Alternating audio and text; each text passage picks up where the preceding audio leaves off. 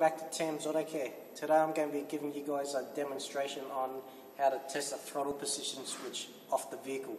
Okay, so what I've got hooked up at the moment is I've got my oscilloscope wired up to the throttle position sensor, going through a transformer and a digital multimeter. At the present moment I've got my transformer su supplying 5 volts Okay, the TPS sensor usually operates between half a volt to maximum 5 volt.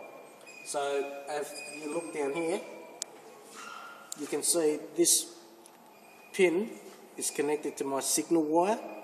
The middle pin is my negative or ground. The last pin to the right is actually the power supply through the computer.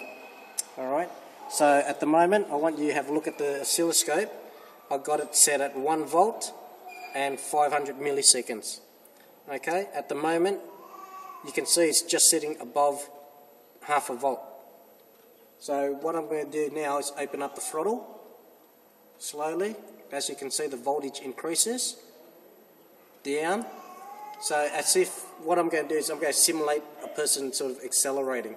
Alright, so it's on, off, on, off, on, off, on, off.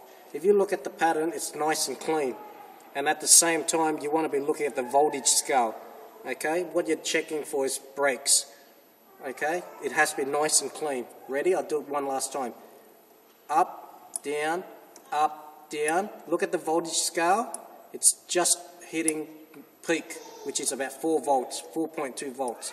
Okay, so looking at that pattern, that tells me there's nothing wrong with the throttle position switch. Okay? So, hopefully you guys will know how to check one yourself next time. Okay? Thanks again. See you later.